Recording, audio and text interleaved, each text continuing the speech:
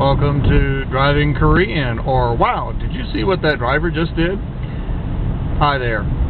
We're uh, traveling south on uh, Expressway 15, heading towards exit 13 for Gunsan, South Korea, and a destination of the Kunsan Air Base.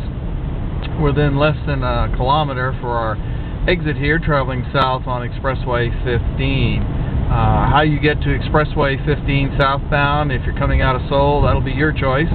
Uh, I chose a different route and got to see more of Korea than I planned, but that was an experience. So here's our exit coming up here. Uh, we're going to initially uh, go on um, Highway 26 here after we clear the toll plaza, so I'll bring you up to that.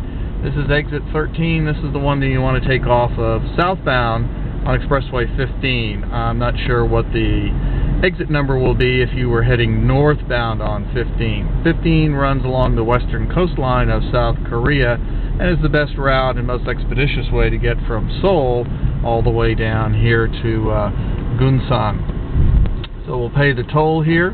Uh, traffic's kind of light. It's a Sunday afternoon and uh, this is kind of a two-handed operation here so I'm going to stop the video because uh, toll plaza is a toll plaza is a toll plaza and I got lots of video of that and uh, you'll pay whatever it costs uh, relative to getting through there.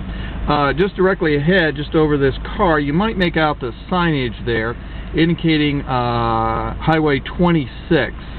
right now I'm currently heading due west, pretty much due west here and there is an exit for Highway 26. We do not want to take that.